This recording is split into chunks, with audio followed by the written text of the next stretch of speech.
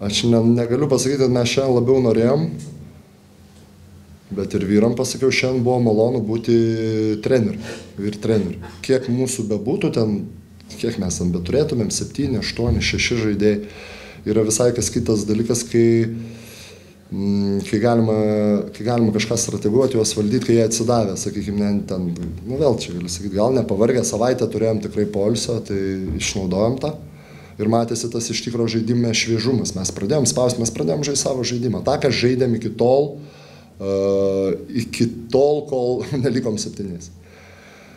Kol nesibaigė jėgos. Dabar ketvirtadienį rungtynės, vėlgi nėra blogai, toks tarpas ne pats e, mažiausias, tai pasistengsim išnaudoti jėgų atgaivimui ir tam tokiam recovery grįžimui, kad ten, tai, tai, tai aišku, šitas buvo vienas svarbesnių momentų, bet uh, Bet aišku, tai nebuvo pirmiausia vyram padėkoti reikia, nes jie dar galėjo pasąmonį leisti savo kažkur dar bus rungtynės, dar palisėti, nu jie dirbo. Ir perimti kamoliai, agresyvi gynyba, tai buvo šiandien daug broko, kažkokio tai polime tikrai nesakyčiau, kad mes žaidėm gerai, nemušėm ten arba neišnaudodavom ten, kur reikia, prarasti kamoliai tokiose lygiose vietose. Tai tas, tas aišku, netenkina, žiūrėsim. Atrodė kontroliavom rungtynės gale, bet bet nu peršopėti du tie tritaškai tai kažkas iš fantastikos zonos atsivarai ir meti į tą pusę ir įkrenta tai o mes tuo metu nepataikėm baudų. Taip jau buvo likę neberamu bet bet kažkaip tai sakykime tą galą manau vis dėlto geriau sužaidėm. Geriau sužaidėm. Aišku keturiolika atkovotų po priešininkų tai rodė kad mes šiandien kovojom dirbom darėm savo darbą. Buvom agresyvesni nusiteikę pergalei nusiteikę kautis ir, ir, ir, ir, ir žymiai lengviau su tokia komanda darbuotis, žaisti, būti su jais. Tai netrodo visai optimaliai pavyko tas minutės paskirstyti aikštėje šiandien? Nu, kaip čia jums pasakius. Arvidas 39. Tai Arvidas pripratęs. Nu, koks jis pripratęs, šis žmogus, žinot, nu, aš juo tikrai galiu pasitikėti, tikrai galima ir apie jį pakalbėti, jis žmogus toks labai patikimas visi patikime, aš nesakau, bet kiti ten, sakykime, tai procentaliai, kitas kažkur dar nutrūksta, susinervuoja, pasitas tas toks stabilumas yra tiek psichologinis, tiek...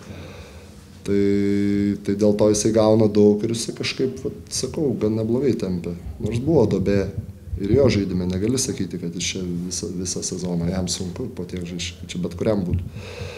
Tai va, nu, negaliu pasakyti, čia aišku, vėlgi sunku buvo, vėl Mindaugas, kai prametė pradžioje 2-3 iš pokrepšio laisvas, tai reikėjo greitai rasti sprendimą gerai, kad ta maža sudėtis mums padėjo.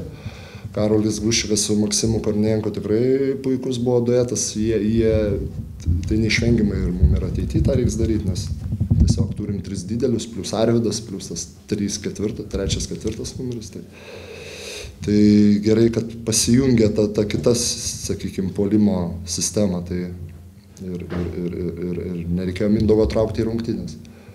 Nes jam ten kažkas tai truputį, nežinau, kas sugalvojo pramesti iš paskilės, kur galima dėti.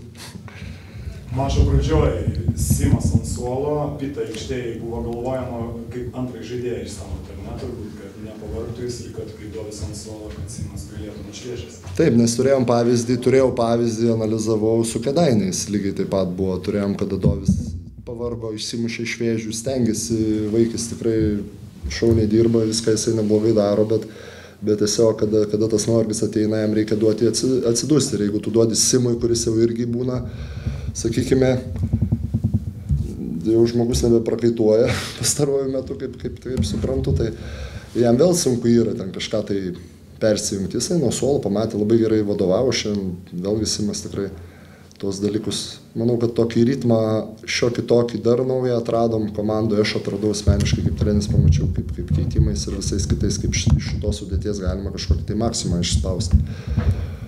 Aišku, Dzukija, gera komanda, geri legionieriai, e, turi visas pozicijas, nu šiandien dirbom gynybą. Ta ir skaičiai parodo, ir, ir, ir atkovoti kamuoliai, tikrai šiandien kovėmės dėl pergalės. Jau rašot vadovėlį, kaip septynės reikia laimėti. nu, kad jau žinau, tai tikrai, bet, bet jeigu reiks, galėsiu kam nors patarti, kaip, kaip du su pusę mėnesio žais septynėse. Tai šitarsi. Lengva komentuoti, kada laimi varžybas, bet labai yra sunku, kada pralaimi. Yra daug priežasčių, dėl ko mes pralaimėjome. Bet e, turbūt reikia pradėti nuo to, kad uh, Juventus šiandien tikrai atvažiavo gerai pasiruošęs. E, jie čiupo mūsų nuo pat pradžių, e, maišė mums e, kortas. Ir, e, ir už, aš manau, kad jie užtikrintai ir, e, ir pelnytai laimėjo varžybas. Sveikinu visą komandą, sveikinu treningų kolektyvą.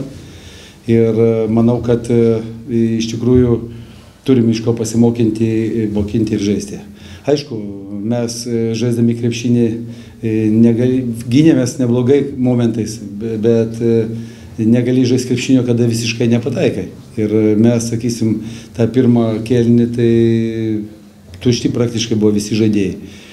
Galbūt ka, kažkiek tai mums padėjo dideli, bet e, vis tiek e, kova e, antrą kartą atšokus į kamolį mes pralošėme ir Juventus komanda turėjo 27 taškus, nu, praktiškai iš nieko. Jiems net nereikėjo daryti jokių dėlių nieko. Paimti kamolį, pakartoti ir, ir, ir viskas.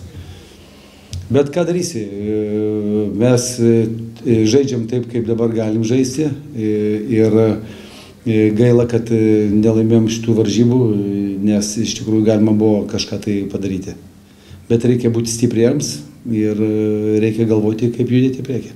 Treneriai, jūsų auklėtiniam šiandien agresyvumo nepritrūko, baudų metimų skaičius nedidelis, e, kartais aukštauginiai išnaudoda tų situacijų prie žemesnio oponento. Aš galvoju, kad e, mūsų žaidėjai veržėsi, bet e, jie paprasčiausiai baudų negavo visiškai. Tai jeigu taip konstatuoti, tai tada iš viso e, galima žaisti tik ant perimetro. Nes jeigu tu veržiesi, tau nešvilpia visiškai baudų, tai reiškia kas? Reiškia, tu tik gali ant perimetrų žaisti, nes tenais tave suvalgo papačią. Ypač tai jautėsi ant galo. Dėl žalavio ten neatsitvėrimo neturėt minčių išleisti aukštą žmogų, kad tik kamuolį atkovotų, ar to pakeisti. Puolime. Nu, bet mūsų aukštas žalalis skaitosi aukštas žmogus, nu, jis liesi, bet tai pas juos dar liesesnis buvo žaidėjas. 12 numeris.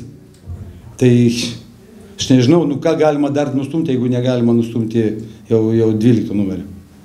Tai aš nesupratau. Ir mums viskas pasteisino, mažas sąstatas, viskas buvo gerai. Nu, nu, atsitverti yra lengviausias dalykas. Man niekada nenudėjo joks žaidėjas jokio kamulio.